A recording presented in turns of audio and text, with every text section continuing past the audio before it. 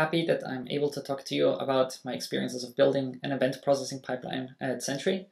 Um, I think we have a very interesting one because of the type of data that we're dealing with. Um, and I want to give you like a rundown of some of the learnings here in the next 20 minutes. Um, in a prior life, I built a lot of open source software. You might be familiar with some of it. Um, I built the Flask framework for Python. Um, but the last seven years, I really spent a lot of time at Sentry building um, both the SDK infrastructure and the processing pipeline and all the things that sit in between. And when I'm not uh, busy working, then I'm spending a lot of time with my kids now. And this is also why there's less open source of me these days than there used to be. Um, I don't want to talk too much of the product, but I want to give you a very basic overview of uh, what it actually is that uh, we're doing so you have an idea of what the context of this presentation is. Um, if you go into Sentry, which is a crash reporting application monitoring um, product, you will find this view. Um, this is basically a list of the uh, error events or, or, also transaction events, depending, uh, that are coming in and they're grouped together by commonality. And so every single crash report that comes in uh, will end up in a group. And this means that we have to do a whole bunch of processing uh, as the events are coming in. And if you then click on an issue, this is what you might be seeing. Uh, this is one of, I think, from my perspective, one of the most interesting events we can process today. This is an IL2CPP crash report from a mobile Unity. Um, and what makes it interesting is that uh, it's a C sharp application that's compiled to C. Um, and we have to do multiple layers of um, processing on this event to get it back to so you can read the stack trace. In the first steps, we take um, and C++ memory, uh, like a memory address from a function call that um, is from generated C++ code. Then we go back via a dwarf debug information file to um, the transpiled C++, and from there we use a portable PDB to go back to the original C sharp. And then we also send some source code along um, that we can then resolve on the server. And you can also see on this event the list of tags on the top, which is data that we will aggregate in a column store. And we also have in this uh, event an example screenshot that can also be sent along as an attachment. So this is roughly what you can expect. Um, what the talk sort of covers is like how does this kind of data go in and what are the challenges with it. Um, there are different types of events that make into the system. The smallest ones are session updates. This is basically um, something starts, something stops, something crashed, um, but without a detail on it. So it's just an, an abstract count of um, how many of my user sessions ended up in some sort of outcome that was not success. And this is uh, a utility that we have largely to scale um, how critical something is. Transaction events is performance data. Um, so for instance, this can capture um, a distributed trace. And then we have the um, the the like on, on the bottom of it we have basically the different types of reports that are coming in from basic uh, error messages to structured crash reports or even uh, mini dumps. This is uh, memory dumps of a crash where we have to do the most processing on the server, and then there's a whole bunch of other stuff including attachments. So what are the challenges with this? So the biggest challenge is the user really expects that the reports come in quickly with the lowest latency possible. But an individual crash report can actually have an incredible high variance of processing times. And this is multiple orders of magnitude. So an event can make it through the pipeline in, let's say, a millisecond, but an event can also be in a holding pattern for up to 30 minutes or more. Um, and how long this takes really depends on a lot of factors that we don't necessarily know at the beginning of it. Um, another part that's kind of interesting um, in, in how we built this is that when something makes it to the end of the pipeline, it might have an effect that will influence what happens in the future at the beginning of the pipeline. So, in particular, for instance, the number of events that you will manage to get through in a certain period of time can affect your quota going forward. We have a spike protection system in place that will ensure that we uh, try to taper off um, very high spikes that are unexpected. And so we can reduce, for instance, the inflow of events. Um, another thing is that we built our pipeline so that it can be extended closer and closer to the customer. So um, we operate two layers of this pipeline to begin with, which is um, the innermost uh, ingestion system, and then we have points of presence around the world. But the customer can also run uh, a, a, relay, which is a proxy um, in front on their own premise um, in order to, for instance, perform PII stripping before the data leaves their infrastructure. Um, in terms of how we function as a company, we're quite conservative to changes in the processing pipeline. And the big reason for this is that um, the type of data that we're getting is not just variant uh, in terms of like how long it takes to go through the system. It also comes from a lot of different sources. So we do control some of the SDKs. Um, so all of the SDKs that we write ourselves, we have quite a strong control over. But for instance, we also integrate into third-party crash reporting systems. So for instance, if you use the Unreal Engine, we're able to directly accept crash reports from Unreal. We also um, work with um, clients that customers themselves wrote. And so the because of the complexity of the event protocol, there's a lot of variance coming in that wasn't originally foreseen, but the, the, the protocol and the processing layer will sort of accept. And so we're, we're quite careful in, in more fundamental changes to this because every time we're touching it um, in a more fundamental way, uh, we will notice um, that something might have happened. So we are not opposed to changes to the pipeline, but we are relatively conservative. Um, so with that, let's go in a little bit and see what it consists of. Um, so the, the biggest part um, of source code that still exists is the monolith. It's uh, written in Python. It's the original sort of Django core Sentry app. It's quite grown over the years, and it established originally the pattern of using RabbitMQ um, via the Celery abstraction layer. And this is in fact still how a lot of the processing pipeline works. Um, it still plays a significant part of how Sentry works. And when we were running into challenges in the past with it, we resorted quite a bit to invoking uh, Rust code, for instance, via CFFI. We have introduced a lot of Rust over the years. Um, and so we're using this both in independent services as well as we're using this to um, augment the Python libraries that we're using. Relay is our main ingestion system. It's written in Rust. Um, it is, as mentioned earlier, a little bit like an onion, so you can run more and more of these. It's quite stateful. It pulls in a lot of information from the system behind. Um, so um, unlike many of the systems that we have originally built, where everything can talk to the database, Relay will uh, get some of its config updates and then keep them locally and then do some local processing, relatively stateful. Um, it is also the first level quota enforcement system. So if a customer sends more data than is allocated for, it, then we will reject it there. And it performs aggregation, normalization, PII stripping. Symbolicator is an interesting internal service. Uh, this is typically run uh, just on our infrastructure uh, it's written in Rust again, um, and it handles the symbolication for different data formats. Um, so if you have ever had a C++ crash, you're probably familiar with the different types of um, debug formats that exist. Um, on the Windows ecosystem, you have PDB. On, on Mac and Linux, you have typically Dwarf. But there are also the container formats that we need to deal with. So this is, for instance, portable executables or ELF. And we have support for all of these. And for that, we are also uh, very grateful to leverage a lot of the Rust, uh, Rust ecosystem for this. And what's interesting about Symbolicator is that in order to process this crash report, it can take a really long time. And so this system needs to talk to external services to fetch all this data. And this is what takes the time. And some of these external services can be really, really slow. The ingest consumer, this is uh, one of the many consumers that we have where we shovel data from one part, we like a lot of Kafka, I'm going to talk about this in a little bit, um, to some of the other part, which is uh, in our case uh, RabbitMQ. And so this is one of the many consumers that we have that travels from one place to another place. All right, so what's the kind of data that's flowing? Um, and what does it look like? So we have basically two formats that are coming in, or two classes of formats that are coming in from the SDKs. The preferred format is what we call an envelope. This is basically a, a format that we created which wraps different types of data. So you can have one HTTP request containing different types of uh, crash reports in one go uh, or it can be a crash report together with a memory dump, or it can just be a memory dump or crash report with attachments or session updates and so forth.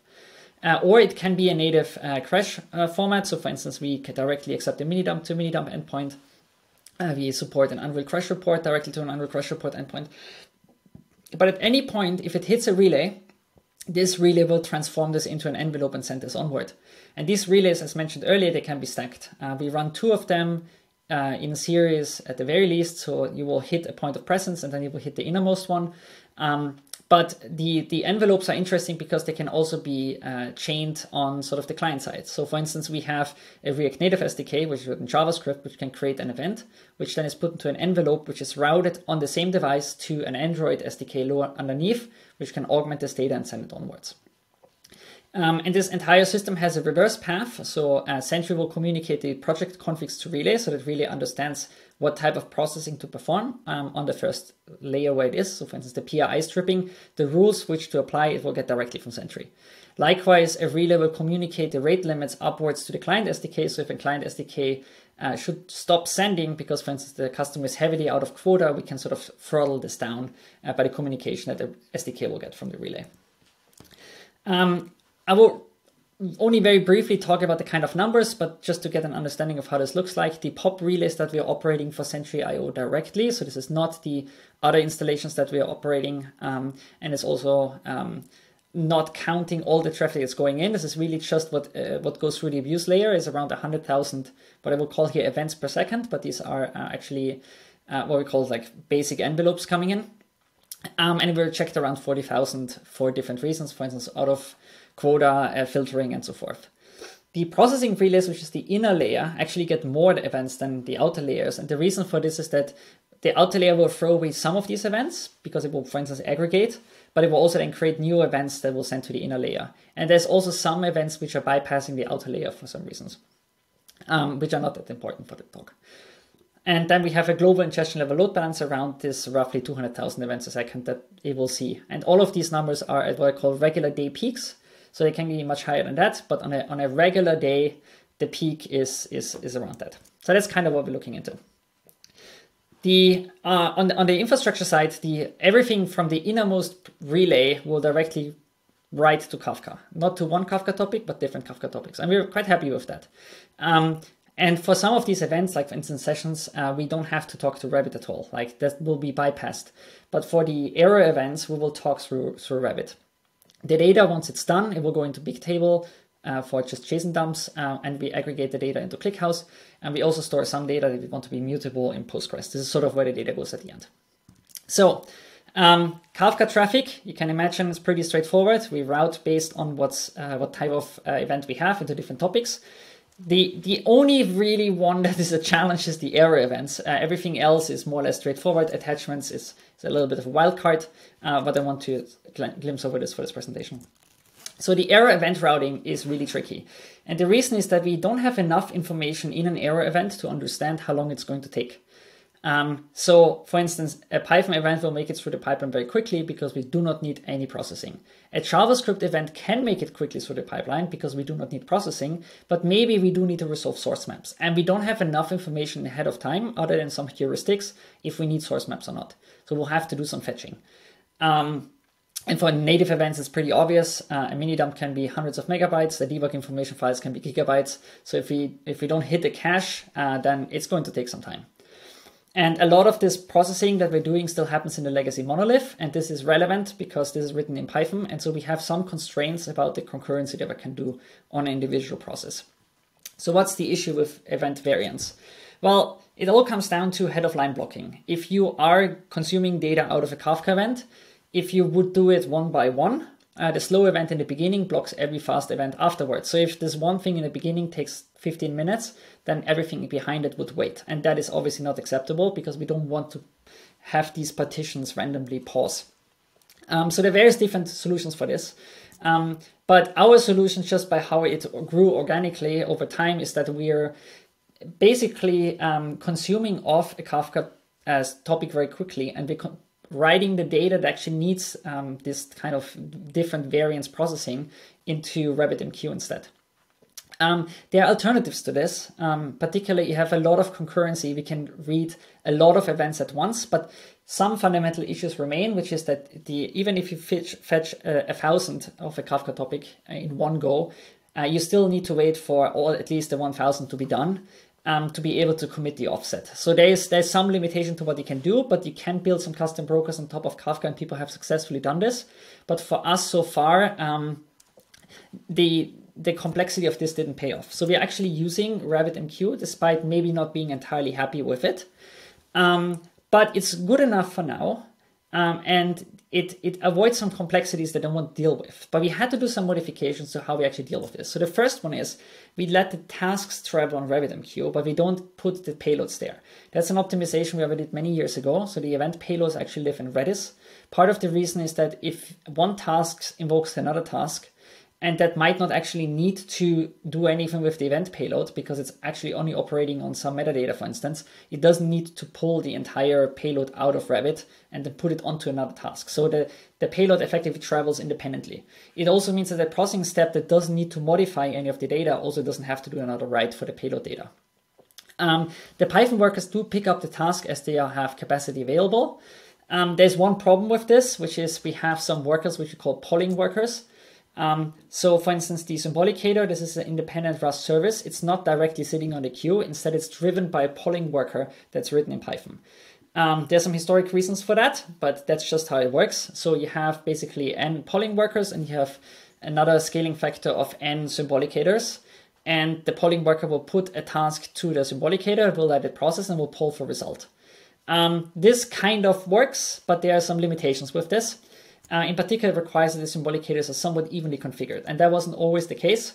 So in particular, you can imagine an individual symbolicator has around one terabyte of disk attached that's up to the brim filled with debug information file caches. And if a new symbolicator was uh, was rotated in because we needed more traffic, that one would come up cold, which means it takes a lot longer for this to process any events. And so this meant that, for instance, a hot symbolicator, which was really well um, well stacked with cache data, could do, for instance, the 10 tasks that we would give it per second, and it would spit out 10 results on average a second again. With the cold symbolicator, it might get 10 tasks in, but on average it can only do two results a second. And because the load balancer outside of the symbolicators doesn't really know the state in which the symbolicators are, it would even distribute the request to all of them. And so this eventually meant that the cold symbolicator just came up as we're scaling up, um, would eventually fall over because there's too many requests pending on it. Um, and then it eventually it would just go in a downward spiral from there. Um, there are many good solutions to solving this. Uh, particularly, we would like to, to be directly involved in, in, in, in the RabbitMQ setup, um, but due to some uh, limitations, at least that's a bigger change. So what we did is we actually did some active cache sharing. So when a new symbolicator comes up, it gets the cache from other symbolicators via a, a shared GCP, uh, GCP bucket. And so the cold symbolicator now warms up much, much quicker so that that scaling problem is no longer much of a problem. Um, but that leads us to some of the other challenges that we're having, which is a general limitation to the back pressure control. And we got it better over time, but I think this is an area where um, a lot of lessons were learned, which is that it's very easy for a pipeline to be built accidentally that one part of it can flush to the next one too quickly, which is not much of a problem if your stream of data is general most of the time the same, which is true for most systems. But every once in a while, you might have to hold something. And if you resume it, it might spill too fast to the next one. Um, and so this is why we now have a system which is a little bit called by me uh, deep load shedding, but it's basically a system to load kill switches into different parts of the pipeline. So if an event of a certain category, for instance, there might be a one consumer project, customer project, which just has malformed data in it for one reason or another, we can instruct the system by loading uh, a filter file, and then we can filter dynamically data as it goes into the system. And at any point in time in the pipeline where the filter would uh, trigger, it would discard this data. And this means that we can make some progress despite there being bad data in the system that we no longer want to accept. In that case, we can reach out to the customer and we can figure out what's going on. Lastly, I want to show a little bit of an interesting part about how we um, turned a small optimization to a fundamental part about how the architecture works. So relay talks to relay via HTTP. The innermost relay obviously process uh, sends data via Kafka to Sentry. It also then talks to Sentry via HTTP. Um, it will basically ask a config endpoint, hey, can I have the latest config update for this project? And eventually this config endpoint got really, really busy. And so we added some caches to it. And today we actually learned that we can directly make Relay read these caches. And on average, we are basically never ever fetching via HTTP anymore because Relay will directly read the same cache that the innermost Sentry populates. And so our cache system actually has become an active communication channel. Um, you can kind of see how this changed at one point where on average we still had around 10 to 20 projects that we would fetch on a single HTTP request from the innermost Sentry to get the latest updates. Um, but now it's basically zero because we have more or less embraced the idea that we're using the cache for communication. And so now we proactively populate the cache, so you will very rarely see any misses anymore. Um, and so now we, it's a little bit of a maybe not the most nice and clear looking solution, but it's a very pragmatic, very practical solution um, that has tremendously helped this kind of system to scale. Um, and now we no longer have to wait for data to come in um, via the HTTP request. And with that, uh, I'm happy to go and answer some questions that might arise.